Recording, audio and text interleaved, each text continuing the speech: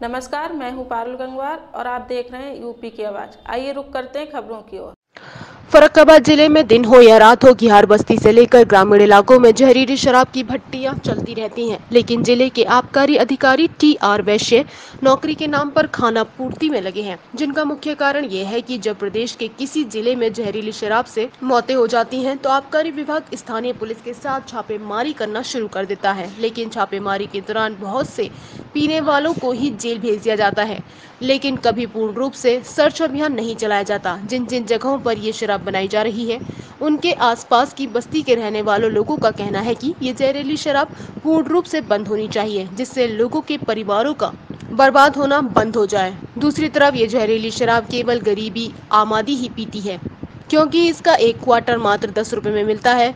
जो गरीब व्यक्ति दिन भर मजदूरी करने के बाद केवल ढाई सौ रूपए ऐसी तीन सौ रूपए कमाता है, वह कुछ रुपया अपने परिवार के लिए बचाने के चक्कर में इस जहरीली शराब का सेवन करता है। कोई भी धनवान व्यक्ति इस शराब का सेवन नहीं करता है, इसीलिए जब भी इस शराब से मौत होती है, केवल उनमें गरीब ही होते हैं। सूत्रों की माने तो अबकारी अधिकारी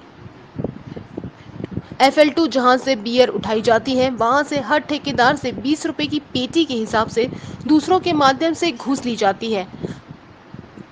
उनसे स्थानीय लोग किसी बड़ी घटना के इंतज़ार में हैं।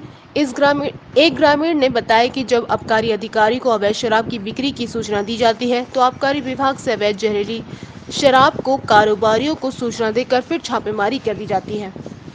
जो कच्ची शराब बनाई जा रही है, इसमें क्या कहना है आपका कच्ची शराब ये तो आब, आबकारी लोग के विभाग के लोग मिले हुए हैं।